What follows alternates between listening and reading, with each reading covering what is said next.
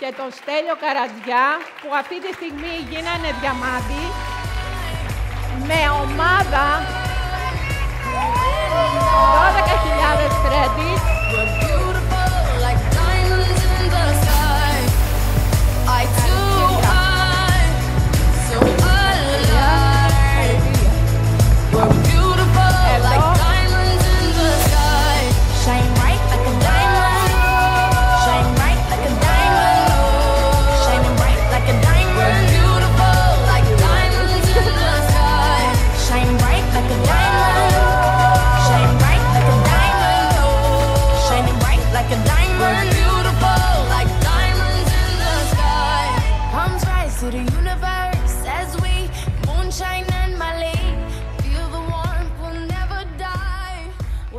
Σας ευχαριστούμε πάρα πάρα πάρα πολύ. Ευχαριστούμε πάρα πολύ. Μας έχετε συγκινήσει όλοι. Και ξέρετε γιατί. Ξέρετε. Ξέρετε ότι είμαι ένας από τους ανθρώπους που ξεκίνησαν αυτή εδώ την κοινότητα μαζί με τον κύριο Κουτρί. Τη λατρεύω. Όπως σας λατρεύω όλους.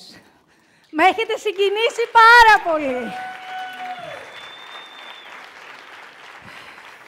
Να ευχαριστήσουμε Πρώτα όλους απ' όλα, εσάς που είσαστε εδώ σήμερα, την ομάδα μας, γιατί χωρίς είπαμε, ομαδική δουλειά δεν γίνεται κάτι. Και το δικό μας άνθρωπο. ανάδοχο, το Θεοδωρή Κουτρί, το δικό μας γνήσιο πλανοβιτάριο. Που Δεν μας- κάνουμε χωρίς κουτρίνη. Αγαπάμε Θοδωρή Κουτρί. Και φυσικά δεν θα ξεχάσουμε ένα μοναδικό ζευγάρι. Το Στέλιο και, και τη τη Χάρη Χάρη. Στυλιανού. Ναι. Ευχαριστούμε. Ευχαριστούμε λοιπόν όλη την ανάδοχη γραμμή, την ομάδα μας και εσείς και εσάς που είστε σήμερα εδώ. Σας ευχαριστούμε πάρα πολύ. Είναι πολύ μεγάλη τιμή για μας που ανήκουμε στα διαμάντια αυτής της κοινότητας. Ευχαριστούμε. Όπως ξέρετε όλοι, ο Στέλιος είναι ένας άνθρωπος, όπως είπαμε, ήρεμη δύναμη. Δεν θα είναι πολύ επάνω στη σκηνή, αλλά πραγματικά στηρίζει πάρα πολύ όλη την ομάδα και είναι ο άνθρωπος που κάνει τα πολλά πράγματα από πίσω. Σήμερα λοιπόν διάλεξα ένα θέμα να μιλήσω που πιστεύω ότι μας αφορά όλους. Είναι για την ψυχολογία μας τις πρώτες 90 μέρες. Τι λέτε, είναι επικαιρό. Λοιπόν, όταν ξεκινάμε λοιπόν, η ψυχολογία μας είναι πάρα πολύ σημαντική. Και είναι σημαντική γιατί, ξέρουμε όλοι γιατί. Φυσικά, γιατί στην αρχή έρχονται όλοι και θα μας πούν τα δικά τους τα διάφορα. Κοιτάξτε εδώ, ένα μυαλό κλειστό και ένα ανθισμένο. Εδώ μέσα τι λέτε να υπάρχει; Για πείτε μου. Ανθισμένα λοιπόν. Τα κλειστά μυαλά είναι και έξω. Εμείς τι θέλουμε να κάνουμε, να ανοίξουμε κι άλλα μυαλά και να τα φέρουμε στην κοινότητά μας. Γιατί, θα σας το ξαναπώ αυτό, αλλά σας λέω, σας αρέσει η τρέλα μας. Ωραία. Χαίρομαι πάρα πάρα πολύ. Λοιπόν, στην αρχή λοιπόν ξεκινάμε, έχουμε ενθουσιασμό, δεν είμαστε όμως εκπαιδευμένοι και έχουμε να αντιμετωπίσουμε πάρα πολλές φορές ποιους, μα τους δικούς μας ανθρώπους. Μα βρελέτα, οι δικοί μας άνθρωποι θα μας πούν κακό. Σώπα καλέ, γιατί το λες αυτό τώρα. Είναι δυνατόν. Όταν ξεκινάμε λοιπόν, πάμε με έναν ενθουσιασμό να τα πούμε όλα και βέβαια έρχεται κάποιος, μας λέει, για πες μου, πες μου Νίκο, ποιο είναι το αποτέλεσμά σου. Μα τώρα ξεκίνησα.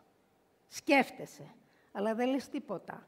Ήδη όμως η ψυχολογία πέφτει. Είναι επιρροή από το περιβάλλον. Είναι σίγουρα γονείς, είναι αδέρφια, είναι ξαδέρφια, είναι καρδιακοί φίλοι. Έτσι δεν είναι; Το έχει ζήσει κανένας από εδώ αυτό;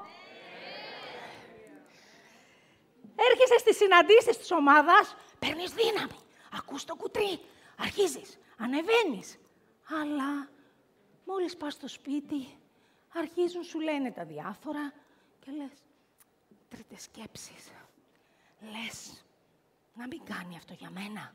Το έχει πει κανείς αυτό; Όταν λοιπόν ξεκίνησα εγώ, όλα ωραία, όλα καλά, και ακούστε το story πώς ξεκίνησα. Έρχομαι λοιπόν σε μια παρουσίαση, βλέπω το project, δούλευα τότε σαν διευθύντρια πωλήσεων σε ένα μεγάλο όμιλο. Ω τέλειος ήταν στο σπίτι, είχαμε και ένα παιδάκι. Πάω, με πάει μια συναδελφό μου, βλέπω το project, ενθουσιάζομαι εγώ, ούτε κάρτες, ούτε τόνο, ούτε τ' άλλο, ούτε να πηγαίνω πολλές ώρες στη δουλειά. Τρελαίνομαι, μ' αρέσει. Βλέπω κάτι.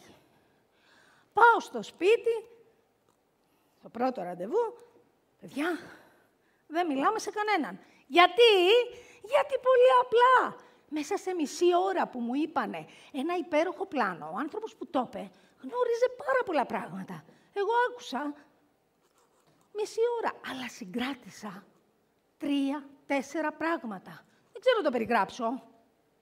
Αλλά όλοι έχουμε έναν ενθουσιασμό και θέλουμε να τα πούμε όλα. Συμφωνείτε; Πόσοι έχουμε κάνει το ίδιο λάθος; Σχεδόν όλοι. Λοιπόν, πάω λοιπόν στο σπίτι, καλή σου, ενώ μου λένε, δεν θα πεις τίποτα. Στο επόμενο ραντεβού θα έρθεις με τον άντρα σου και αν πραγματικά σας αρέσει, τότε ξεκινάτε. Πάω λοιπόν κι εγώ, με το που μπαίνω μέσα, λέω στο Στέλιο, Στέλιο, φέρουμε ένα χαρτί και μολύβι, έχω να σου πω. Σαν να μου είπανε, πήγαινε πέστα. Πιάνω λοιπόν σε ένα χαρτί και σε ένα μολύβι να τους ζωγραφίσω πράγματα και να του λέω, να του λέω, να του λέω. Δεν κατάλαβε τίποτα. Το μόνο ήταν ότι τον τράβηξε ο ενθουσιασμός μου. Μου λέει πολύ απλά, θέλω να το ακούσω.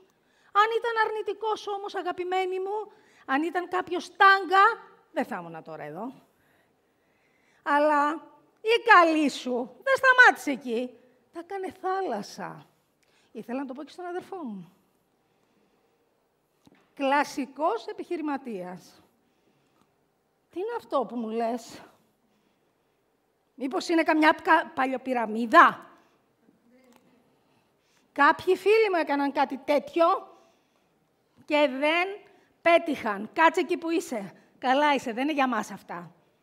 Εμείς είναι να έχουμε μια σταθερή δουλειά.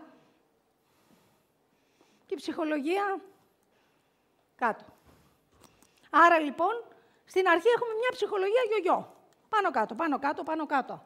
Έτσι, έτσι δεν συμβαίνει σε όλους μας. Είναι απολύτως φυσιολογικό, μην ανησυχείτε.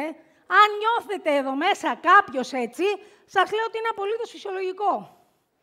Κανένα θέμα. Είστε στην κατάλληλη στιγμή με τους κατάλληλους ανθρώπους. Μην ανησυχείτε καθόλου. Όπως καταλαβαίνετε, ερχόμουν γιατί κάναμε δεύτερο ραντεβού, ξεκινήσαμε και όλα καλά. Ερχόμουν συναντήσεις ομάδας. Ανέβαινα. Πήγαινα σπίτι, η Μανούλα, σαν υπερπροστατευτική Ελληνίδα μάνα. Πού πάτε κύριε παιδάκι μου για κάθεστε με τις ώρες. Μήπως είναι τίποτα παραθρησκευτικές.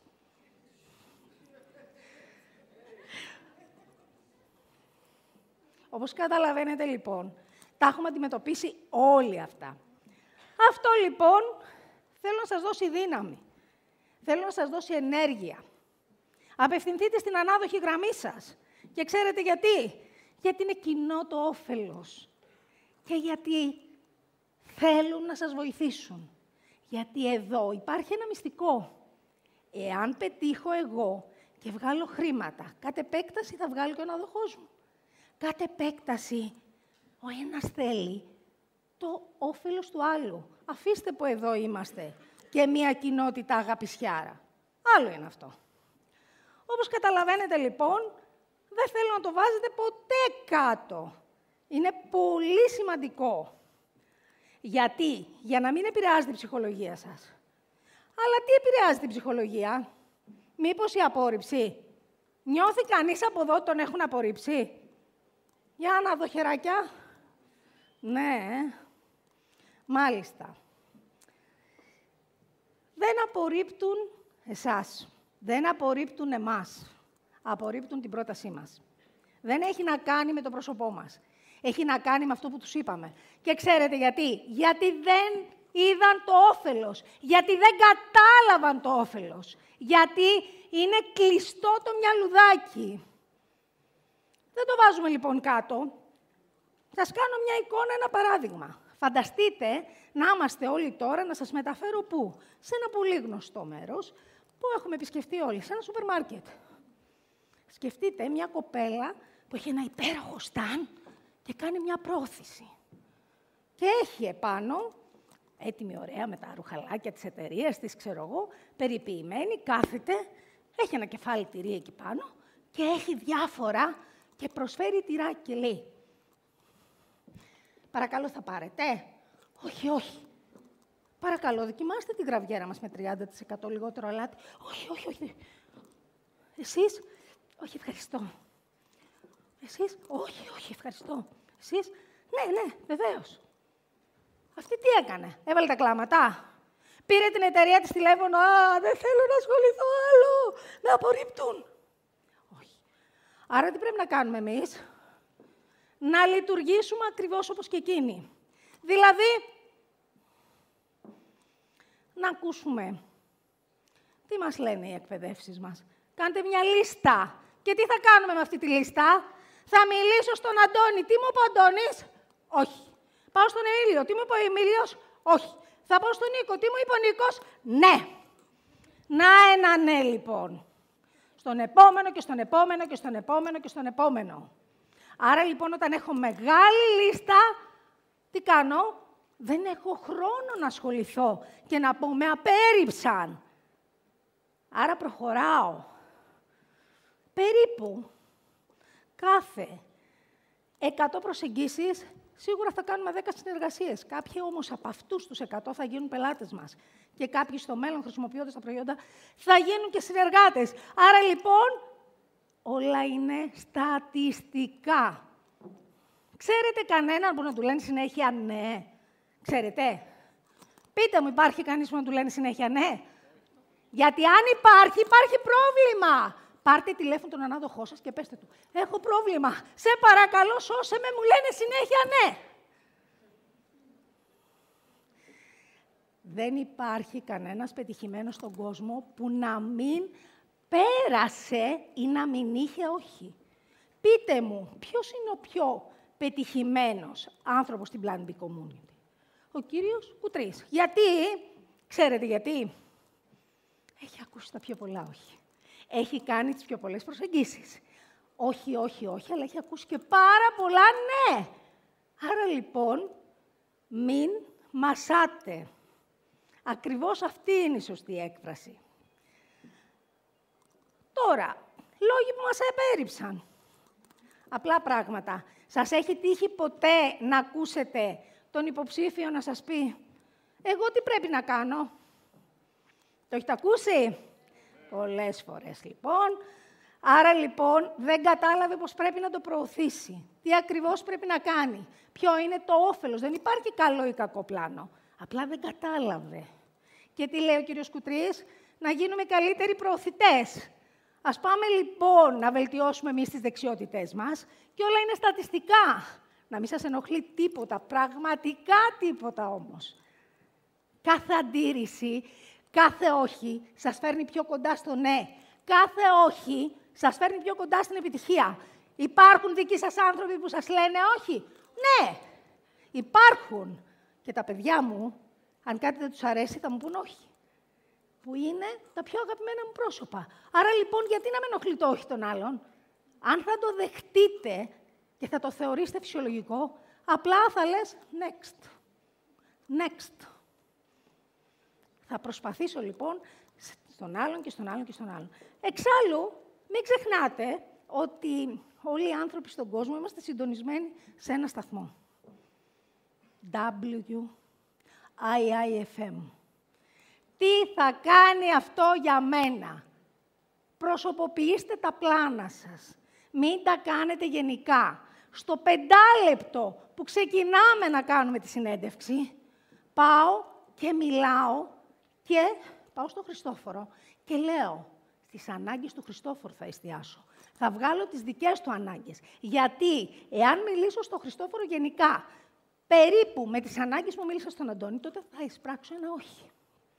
Άρα, λοιπόν, εστιαστείτε στις ανάγκες και βγάλτε τις ανάγκες των άλλων. Όμως, υπάρχουν και άνθρωποι που είναι εκφύσεως αρνητικοί. Τους θέλουμε αυτούς στη δουλειά μας. Όχι βέβαια. Γιατί; Γιατί πολύ απλά. Έχουν ένα πρόβλημα για κάθε λύση. πάντα θα είναι αρνητική σε όλα. Αν είχατε κάνει μια επένδυση 100.000 ευρώ, ένα μαγαζί, εσείς θα θέλετε να συνεργαστείτε με τέτοιους ανθρώπους; Όχι βέβαια. Άρα δεν τους χρειαζόμαστε. Υπάρχουν και άλλοι, και άλλες κατηγορίες. Οι βολεμένοι στη ρουτίνα τους. Καλά είμαστε εμείς. Και έξω γίνεται χαμός. Εμείς έχουμε το μισθουλάκο μας. Σας έχει τύχει; Μια χαρά είμαστε εμείς. Δεν ξέρουν όμως ότι αυτό που θεωρούν σημαντικό αύριο το πρωί κρέμεται από μία κλωστούλα και αμέσως μπορεί να φύγει. Δεν το σκέφτονται, δεν σκέφτονται το μέλλον. Υπάρχουν και άλλες κατηγορίες ανθρώπων.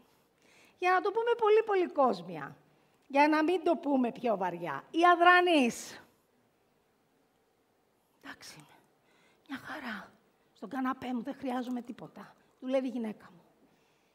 Το έχετε ακούσει; Φυσικά. Και για κάποιους δεν είναι η κατάλληλη στιγμή. Τι κάνετε, τους πρίζετε; Όχι. Θα σας πω εγώ τι κάνω. Έτσι, ένα απλό προσωπικό παράδειγμα. Εγώ έχω μία ένδειξη στο δικό μου calendar που λέει λίγο αργότερα. Και τι κάνω, τρεις μήνες μετά θα πάρω τον Αντώνη που μου είπε όχι. Γιατί, γιατί πολύ απλά, τρεις μήνες μετά μπορεί να έχει αλλάξει η ζωή του, τα δεδομένα του. Μπορεί ξαφνικά να μένει χωρίς δουλειά ή να ήρθαν περισσότερα έξοδα και να θέλει μια δεύτερη δουλειά. Και αν μου πει και τη δεύτερη φορά όχι, ήδη έχουμε μιλήσει, ήδη έχουμε χτίσει μια σχέση, τι κάνω, θα τον ξαναπάρω στο επόμενο τρίμηνο και θα ξαναμιλήσουμε. Και η σχέση θα αρχίσει να χτίζεται. Και σίγουρα, μετά από λίγο καιρό, θα τον δείτε γραμμένο στην ομάδα μου. Και μου έχει συμβεί πάρα πολλές φορές. Έχει γίνει πάρα πάρα πολλές φορές αυτό. Έχουν έρθει πάρα πολλοί άνθρωποι από τη σωστή επακολούθηση. Επίσης, πολύ σημαντικός είναι ο τρόπος προσέγγισης. Πώς τον προσεγγίζουμε; Παρακαλάμε. Ποτέ. Γιατί, γιατί αν δει ο άλλος ότι θα τον παρακαλέσεις, έλα ρε φίλη, ο κολλητός μου, μπε σε παρακαλώ μαζί μου να δουλέψουμε. Δεν θα το κάνει ποτέ. Γιατί, γιατί πάρα πολύ απλά δεν θέλει ο ίδιος να παρακαλάει. Και εμείς τι θέλουμε. Δυναμικούς, δραστήριους, φιλόδοξους και ανοιχτόμυαλους ανθρώπους. Δεν θέλουμε τέτοιους ανθρώπους, παιδιά. Θέλουμε αυτούς που μας θέλουν. Αυτούς που έχουν ανοιχτά μυαλά. Αυτούς που κάνουν για μας. Δεν θα φέρουμε ανθρώπους που δεν τους χρειαζόμαστε. Γιατί και αυτοί δεν μας χρειάζονται, αλλά και εμείς δεν τους χρειαζόμαστε. Ε, επίσης, ένας άλλος τρόπος είναι η νοοτροπία μας. Η νοοτροπία του νικητή. Πάτε με αέρα. Μιλήστε πάρα πολύ όμορφα. Μιλήστε σαν να είστε εσείς επιτυχημένοι. Μα βρε λέτε τώρα ξεκίνησα. Τι μου λες, πώς θα νιώθω εγώ πετυχημένη; Δανειστείτε την επιτυχία του αναδόχου σας. Πάρτε παραδείγματα από δίπλα σας. Μιλήστε με το δικό σας τρόπο, θα φανεί στο τηλεφώνημα που θα κάνετε, στην προσέγγιση, στον τρόπο, στη φωνή. Ειλικρινά, οι άνθρωποι αγαπούν την επιτυχία και θέλουν να είναι με τους πετυχημένους ανθρώπους. Οπότε και εσείς να νιώθετε ήδη νικητές και πετυχημένοι. Δεν με πήρε ποτέ κανείς να μου πει «Λετά, θέλω ένα επαγγελματικό πακέτο, πότε ξεκινάμε συνεργασία» Σας πήρε. Εμένα δεν μου έχει συμβεί. Αν έχει συμβεί σε κάποιον, πείτε το μου. Πείτε το μου να το ανεβάσουμε να το χειροκροτήσουμε εδώ. Και ασχολούμαι πολλά χρόνια με τη δικτύωση. Πράγματι. Ασχολούμαι γύρω στα 28 χρόνια, σας λέω και την ηλικία μου. Λοιπόν, 22 χρονών το ξεκίνησα το σποράκι, με 50, οπότε βγάλτε εσείς τα συμπεράσματα μόνοι σας. Λοιπόν, όπως καταλαβαίνετε λοιπόν, αντίθετα εγώ θα πάρω. Θα πάρω λοιπόν τον Εμίλιο που μου είπε όχι και θα του προτείνω ξανά και η επόμενη μου πρόταση θα έχει και ένα «Με εμπιστεύεσαι» Πάμε μαζί. Και τότε να είστε σίγουροι, όταν έχει χτιστεί μια σχέση και όταν το απευθύνετε εσείς στην ερώτηση και όταν το φέρετε πιο κοντά, ότι και εκείνος θα είναι πολύ πιο θετικός απέναντί σας. Έχει τύχει πάρα πολλές φορές να έχω και πάρα πολλές συστάσεις με αυτόν τον τρόπο. Άρα λοιπόν, τι πρέπει να κάνω, να εστιαστώ και να κάνω επακολούθηση. Τι σημαίνει επακολούθηση; Επακολούθηση λοιπόν σημαίνει, γιατί σήμερα έρθει και με έπιασε μια συνεργάτριά μου και μου λέει «Λέτα, εγώ δεν μπορώ να πάρω και να ξαναπάρω, νομίζω ότι ενοχλώ». Όχι αγαπημένη μου, κάνεις επακολούθηση. Αν εσύ τους ξεχάσεις, θα σε ξεχάσουν και εκείνοι. Πείτε μου λίγο, σε μία σχέση, σε μία φιλία. Εάν εσύ δεν πάρεις το φίλο σου μια εβδομάδα, 10 μέρες, 20, 30, 50 και σε παίρνει αυτός, μετά δεν θα αρχίσει να ρεώνει. Όλα θέλουν έναν τρόπο. Άρα λοιπόν, αυτή τη στιγμή η επακολούθηση είναι πολύ σημαντική. Και είναι μάστιγα στη δουλειά μας. Δεν κάνουμε πολλές φορές επακολούθηση, γι' αυτό και δεν έχουμε το αποτέλεσμα που θα μας άρεσε. Εξάλλου, πώς είναι δυνατόν να έχω μια επιχείρηση που μπορεί να μου βγάλει πραγματικά πολλές χιλιάδες ευρώ το μήνα με ένα απειροελάχιστο κόστος. Συμβαίνει πουθενά άλλο αυτό; Από τον πρώτο μήνα, αξιοποιώντας τα fast star bonus, παίρνουμε παραπάνω από 1.100. Όσο θέλουμε. Δεν έχει ταβάνι. Είναι έτσι. Άρα λοιπόν, τι θέλει; Κινητοποίηση και δράση. Γιατί μία ευχή δεν φέρνει αποτελέσματα. Δεν αλλάζει τα πράγματα. Η δράση όμως τα αλλάζει όλα. Οπότε, βάζοντας δράση, αφήνουμε τα προβλήματα στην άκρη, πάμε καλά. Πολύ καλά. Και θα σας πω, Μα ρε, λέτε, εντάξει, τα λες εσύ τώρα, γιατί σε χρόνια, για εκείνο και εκείνο το λόγο, τέλος πάντων και τα λοιπά, όπως τα λέγατε όλοι. 1η Απριλίου ξεκινάμε. Έγινε το πιο δυνατό λανσάρισμα. Όλοι ξεκινήσαμε 1η Απριλίου. Σε μια εβδομάδα, στόχο είχα το διαμάντι. Σε μια εβδομάδα αρρωσταίνει η μάνα μου. Μπαίνω στο νοσοκομείο μαζί της. 23 μέρες. Πάλευα από εκεί συνέχεια. Στους διαδρόμους, στη βεράντα, οπουδήποτε γιατί ήμουν εστιασμένη. Μιλούσα με το Θοδωρή, μιλούσα με τη Χάρης, όποτε είχα θέματα. Ήταν εκεί να με στηρίξουν. Όμως εγώ ήμουν εκεί, κλεισμένη μέσα. Και όμως τα κατάφερα. Τελειώνει αυτό και λέμε τέλος Απριλίου θα ηρεμήσουμε. Ξαφνικά η κόρη μου, χειρουργείο έκτακτο, και έχει ένα μωράκι. Άρα εγώ ξανά νοσοκομεία, ξανά φροντίδα, ξανά στο παιδί, ξανά πίσω όλα. Όχι πίσω, μπροστά. Εγώ εκεί πάλευα. Αν είχα πλάνο Α, θα πήγαινα στη δουλειά μου. Ναι, θα πήγαινα. Τότε λοιπόν γιατί να μην παλέψω, γιατί δεν το θεωρούμε δουλειά. Είναι η καλύτερη δουλειά αυτή που μπορώ να την κάνω από οπουδήποτε. Και δεν τελειώνουμε εδώ, ε. Ήρθε ο Μέρφυ και έκατσε εδώ. Αυτός ο άτιμος. Και τι να κάνω, του δίνω μία έτσι, δεν θέλει να φύγει ρε παιδιά. Του κάνω ξανά μια έτσι, τίποτα, μπαστικωμένος. Ε, λέω, δεν γίνεται. Την τρίτη θα τη φας κλατς, θα τον διώξουμε, δεν γίνεται πια. Λοιπόν, εκεί που πηγαίναμε για ένα ραντεβού, η κυρία Λουπασάκη είχε κάποιον υποψήφιο και πηγαίναμε. Έρχεται μια και ωραία κυρία, κούκλα κατά τα άλλα, μας δίνει μία με το αυτοκίνητο και μας έστειλε.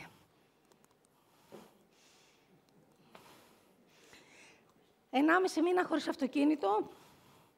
Παρόλα αυτά, ένα σοκ. Παρόλο ότι είχαμε χτυπήσει και λίγο και είχαμε τα δικά μας, όμως, σε λίγες μέρες, σε πέντε μέρες τελείωνε ο μήνας. Τι λέτε ότι έκανα; Άρχισα να κλαίω πάνω από το χειμένο γάλα. Όχι. Είπα στον άντρα μου, ναι, θα το κάνουμε το διαμάντι. Ναι, θα το κάνουμε το διαμάντι και σας λέω ότι γίνεται. Μπορείτε. Όλοι μπορείτε. Είναι γεγονός. Απλά τι θέλει. Θέλει να επιμείνω. Θέλει να μην τα παρατήσω ποτέ. Δεν υπάρχουν δικαιολογίες. Υπάρχει εστιασμός και δράση. Και τώρα είχαμε συνέδριο. Είχαμε έναν άλλο στόχο, ρε παιδιά, να φέρουμε πολύ περισσότερο κόσμο εδώ μέσα. Και τι έγινε; Αιμορραγή το μέατο του στέλιου. 15 μέρες. Προβλήματα, τρέξιμο, γιατρούς, ιστορίες. Και το αποκορύφωμα το Σάββατο που μας πέρασε Το Σάββατο, τώρα, τώρα το Σάββατο. Με δαγκώνει και σκυλί. Ε, δεν ξανάγινε αυτό. Εγώ όμως είμαι εδώ. Και το πέτυχα το διαμάντι και μπορείτε κι εσείς. Γιατί δεν το βάζω ποτέ κάτω.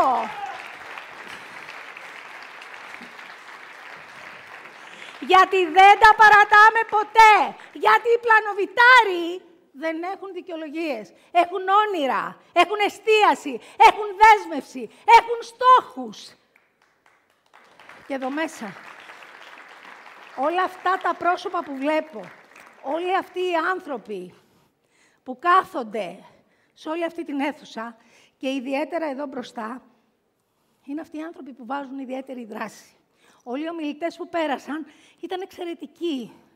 Πήρατε τον καλύτερό τους σε αυτό, έβγαλαν την καρδούλα τους και την πρόσφεραν. Πάρτε από αυτά τα κομμάτια και όχι απλά τα πήραμε και ευχόμαστε να γίνουμε τιτλούχοι. Βάλτε δράση. Δράση, παιδιά, δράση! Μας πιάσανε! Συστηματική δράση. Δύο-τρεις ώρες την ημέρα και το αποτέλεσμα θα έρθει. Δώστε χρόνο σε εσάς. Αξιοποιήστε και μάθετε ό,τι σας δίνει απλόχερα η ανάδοχη γραμμή. Υπάρχει πραγματικά υλικό για όλους. Και είμαστε εδώ, να είμαστε δίπλα σας, να σας βοηθήσουμε σε όλα, να σας στηρίξουμε σε όλα. Δεν μου έμαθαν ποτέ τη δουλειά μου εκεί έξω στο πλάνο Α όταν πήγα. Αντίθετα, με φρέναραν και μάλιστα. Εκείνα τα χρόνια γυναίκα διευθύντρια με έβλεπαν οι άντρες και λέγανε, δεν ήμουν τίποτα για αυτούς. Το κοριτσάκι, απλά δεν μάσαγε ο άνθρωπος που είχε την εταιρεία. Γιατί το κοριτσάκι είχε ανεβάσει την εταιρεία του πολύ ψηλά. Γιατί είναι πεισματάρα και δεν το βάζει κάτω. Τελείωσε.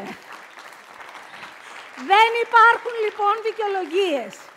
Αν έχεις μεγάλο όνειρο, μείνεις εστιασμένος, τότε πραγματικά θα πετύχεις. Και ξέρετε κάτι, η ανάδοχη γραμμή έχει να σας δώσει πάρα πολλά. Μιλήστε σε όλους, αλλά πιστέψτε σε εσά. Οραματιστείτε την επιτυχία σας.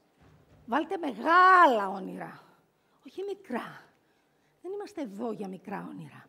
Σίγουρα, σίγουρα, όταν αρωματιστείς την επιτυχία και βάλεις δράση, το αποτέλεσμα θα σε δικαιώσει. Αλλά συστηματική δράση.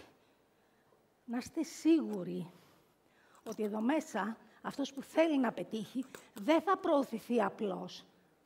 Ειλικρινά θα του δώσουμε τα πάντα γιατί όλοι οι ανάδοχοί σας εδώ, όλοι οι ανάδοχοί μας εδώ, μας έχουν δώσει άπειρη γνώση που εκεί έξω πληρώνεται πολύ ακριβά, αλλά και τον προσωπικό τους χρόνο την προσωπική τους ζωή. Γιατί όταν εγώ θα πάρω το βράδυ τηλέφωνο και θα μου το σηκώσει ο αγαπημένος μου Plan B Man ή πρωί σε μια άλλη επιχείρηση, δεν θα γινόταν αυτό.